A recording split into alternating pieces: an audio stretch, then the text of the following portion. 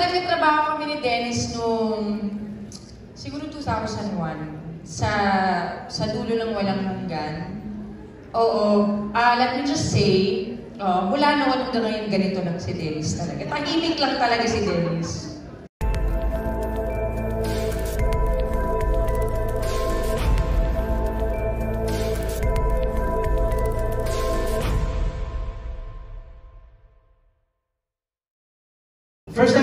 Makatrabaho sina Dennis and Bea. So, kwentuhan naman ninyo kami ng experience working with them. Actually, nakatrabaho ko na si Diretso ako direct. To the point ako. Si Dennis nakatrabaho mo na noon. Hindi, naantok na ako. Kasi late kami natapos kagabi, direct pagod ako, direct na ano.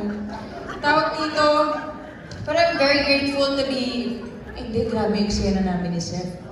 I'm very grateful for dito po, nasali ako dito. At saka sa writers, maraming salamat ho.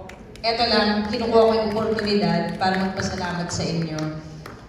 Going back to the I'm tired.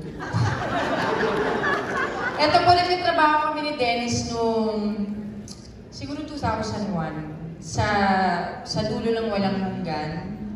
Oo, ah let me just say, oh, mula noon hanggang ngayon ganito lang si Dennis talaga. Tahimik lang talaga si Dennis. Oo, hindi talaga siya nagsasalita masyado. And si Mars, nagkatrabaho naman kami sa A Love to Last. Noong Noong 2017, oo. Yes, di ba? Yes. Noon din. Oo, kayo. yun. Nagkatrabaho na, nakatrabaho ko na sa mga parehas. Pero alam mo hanggang ngayon, kagaya direct nung nakuna natin last time, nung inaway ko silang dalawa, sabi ko, bakit yung ginagawa sa akin to? Parang hindi ko kaya sigawan yung dalawa. So, binilisan ko na lang. Eksena. So, yun po. Again, maraming maraming salamat po at nasali ako dito. Thank you, Dennis and Mars. I love you both. Oh, thank you so much.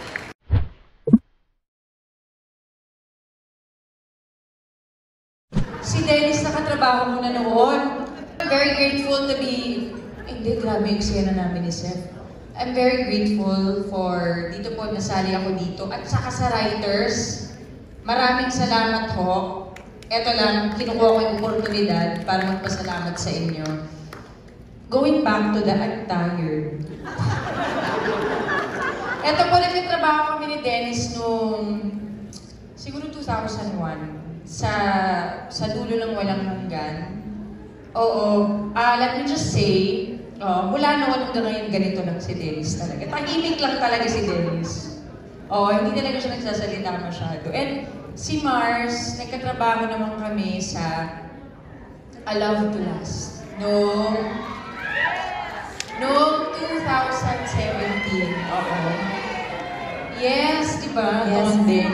Fantasy Oo, yun. Nagkatrabaho na, nakatrabaho ko na sa mga parehas. Pero alam mo hanggang ngayon, kagaya direct nung nakuna natin last time, nung inaway ko silang dalawa, sabi ko, bakit yung ginagawa sa akin to? Parang hindi ko kaya sigawan yung dalawa. So, binilisan ko na lang. Tapos eksena. So, yun po. Again, maraming maraming salamat po at nasali ako dito. Thank you, Dennis and Mars. I love you both. Oh, thank you so much.